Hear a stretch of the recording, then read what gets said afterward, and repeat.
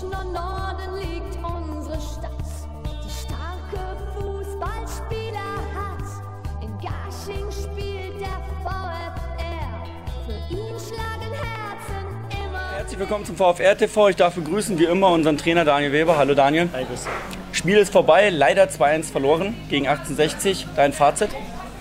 Ja, Wahnsinnsleistungen von unserer Seite wieder. Wir verschlafen nur leider wieder die, erste, die ersten fünf Minuten und ähm, dann kriegst du so einen Traumfreistoßtor. Ist natürlich wahnsinnig ärgerlich, aber ähm, danach muss ich sagen, haben die Jungs ähm, boah, ihren Hintern über den Platz bewegt, ähm, als wenn es Feuer, Feuer drunter gewesen wäre.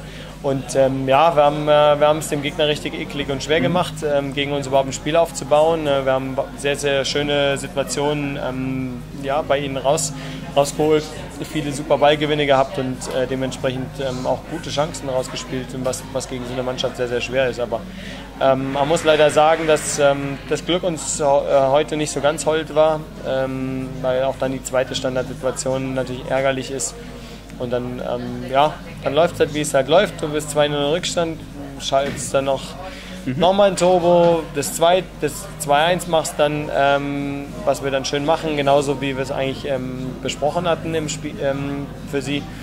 Ähm, da hinten das Fenster ist oft offen gewesen und da ja, sind wir sehr, sehr schön reingekommen. Und ähm, ja, am Schluss fehlt uns ein bisschen das Quäntchen Glück, ähm, dass wir vielleicht den einen Elfmeter kriegen oder der abgefälschte vielleicht drin ist. Aber sehr cooles Spiel von den Jungs. Ich habe auf der Tribüne gehört, es wäre sinnvoller, wenn VfR am Anfang gleich 0-1 äh, startet. Das wäre dann, glaube ich, besser für die Mannschaft. Wie gehst du diese Thematik an?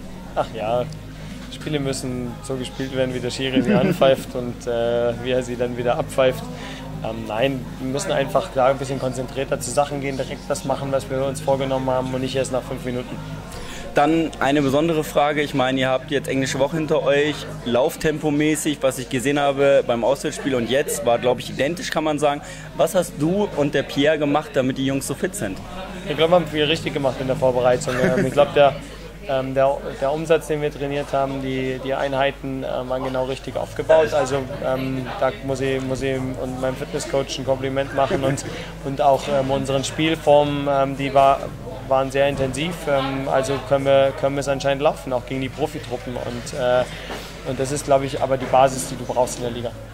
Dann ist natürlich noch äh, heute in den Medien gewesen Dennis Niebauer, Tor des Monats eventuell. Bei der AD ist er drin. Was sagst du dazu?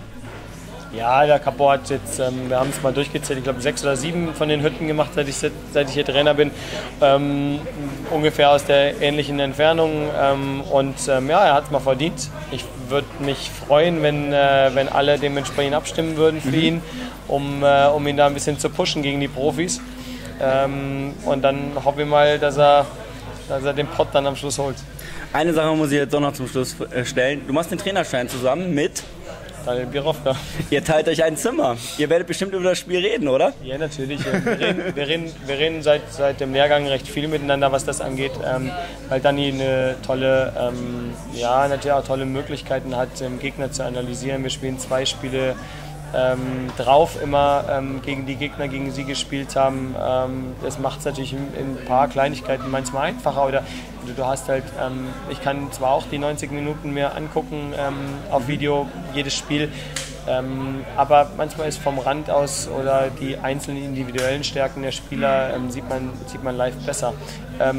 und zu unserem Spiel muss ich einfach sagen, wenn, wenn man sich da nochmal mit jemand austauschen kann, auch nachher der vielleicht Sachen ähnlich oder, oder, oder auch einmal vielleicht mal den einen oder anderen Tipp geben kann, wo man noch darauf achten kann, dann nehme ich das super gerne an.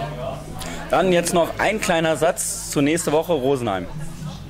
Ja, wir haben letztes Jahr ähm, am eigenen Leib erfahren, wie schwer sie zu spielen sind. Ähm, spielen ein sehr, sehr gutes Defensivkonzept, kriegen wenig Gegentore, ähm, sind sehr aggressiv, ähm, was das Kontern angeht, ähm, sehr giftig und, ähm, und da müssen wir uns gut drauf einstellen und ähm, ich hoffe, dass wir denselben Speed an den Tag kriegen wie in, wie in den Spielen jetzt.